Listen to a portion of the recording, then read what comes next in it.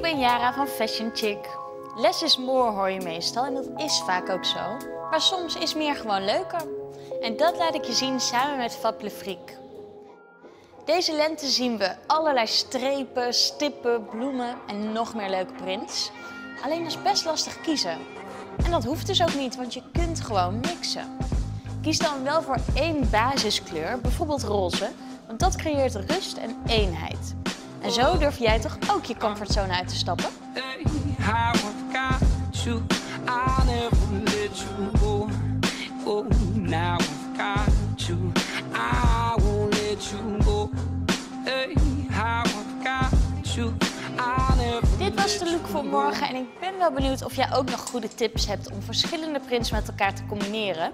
Vertel me die in de comments hieronder en doe even een duimpje omhoog als je deze look tof vond.